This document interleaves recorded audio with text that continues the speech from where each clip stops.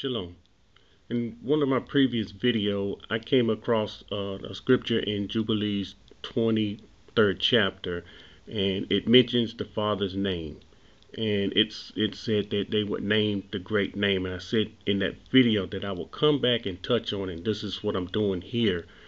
Um, what you're seeing here is the Father's name, uh, the Yah Hey Uhe and this name is it gets so much uh, confusion behind this name because a lot of people haven't really done the research. They haven't studied Hebrew and they they just they just don't understand. But what I'm going to show here the fact that his name is uh, what it is and according to the scripture you know the wicked shall name this name but it won't be in truth and it, and it won't be in righteousness. And you know, you wonder why we're getting all these different names and everybody, you know, they they making up names as we go. But again, you know, they the wicked will name this great name, and this will be the only name that they name that won't that will be not in truth and in righteousness. And and I'm gonna go to that scripture now here in Jubilees 23 and the 21st verse. And I'm not going to read all of it. I'm going to just read the point that I need out of it. And it says, And they shall name the great name, and this day is the wicked. The wicked shall name this great name, but not in truth and not in righteousness. So this name has to be named by the wicked, but it won't be in truth and it won't be in righteousness, meaning you will not have the true name. You may have part of the true meaning, but you will not have the true name. It's going to be deception in it.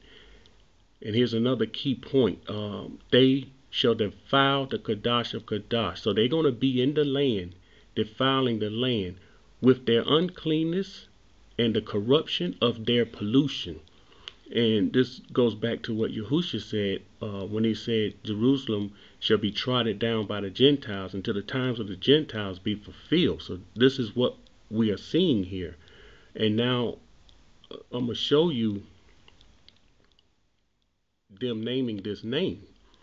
Okay, this is the tetragrammaton. Um, many don't understand the tetragrammaton. This is just something that they came up with. This is something that they did. And I'm going to show you here. This is the Y for yod, the H for hay, the Y, the modern Y. See, this is where some deception comes in at because with this W, this is why I did that video. There is no letter W in Hebrew. I did that for a reason so people could, you know, think that this, when they use a W in any Hebrew word, that it's not it's not real Hebrew. So this should be a, a, a U here, and the U is the is the U, the the H for the hay. So we, that's this is where you get the Yah Hey Hey, and um, this is, of course, this is it in Paleo, and this is the Paleo, and this is your your modern here. Okay, now listen what it says. Uh, it consists of four letters and probably pronounced Y-A-H-W-E-Y. Now see, here's the deception right here. So you're, you're naming the correct name with the Hebrew letters here. Because these are the correct Hebrew letters. But you're not doing it in truth and in righteousness because we're coming up with this this other name here that that I cannot I would I refuse to say because it's giving props to the enemy and it's the name of another mighty one. And I'm gonna continue here. All right, this is the names of God in Judaism. And again, this is you know they uphold this tetragrammaton. And the tetragrammaton itself is deception in it, but if it's used the correct way, then you know what name it is. But if, if, if it's used incorrectly, YHWH, that's not the Father's name. That is not the Father's name. And on top of the list, of course, it's got number one here, YHWH. So, you know, again, they're naming this name, but they're not naming it in truth and in righteousness. And this is, of course, is this great deception. And for that reason, people don't know what the true name is because they don't understand Hebrew. Okay, so here's a question here. This is J E H O V A, and a lot of the Christians use this name.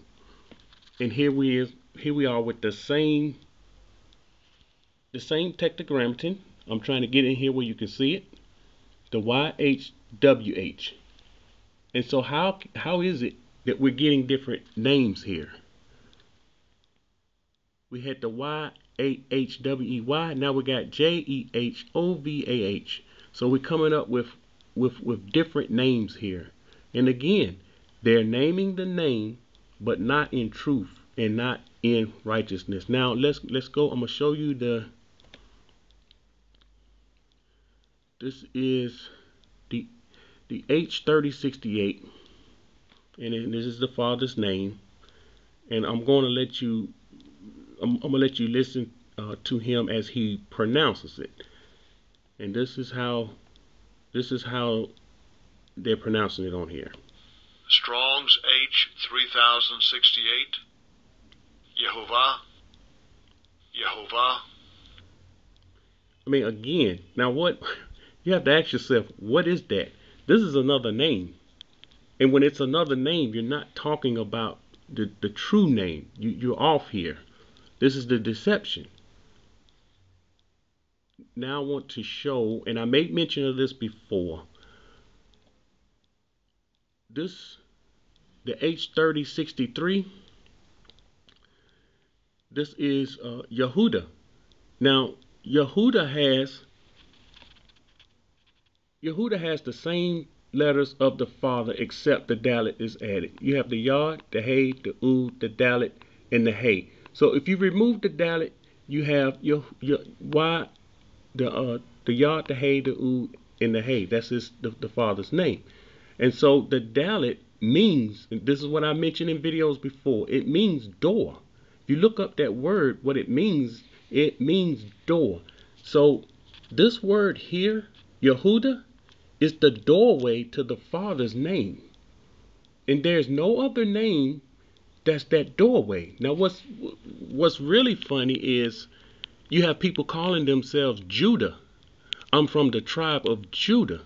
Well, we know the letter J is flawed because it's it's you know we, we get we got that uh, that's one of the newest letters. We got that when we learned about J E S U S. So the letter J is, is is not in Hebrew. And so where you getting Judah from? You're calling yourself Judah. That name came from Yehuda. And Yehuda is the doorway to the Father's name. And again, there's no other name. And now I want you this is this is very important here. Because if you get this, it, it kills the confusion. And they're trying very hard to hide this name.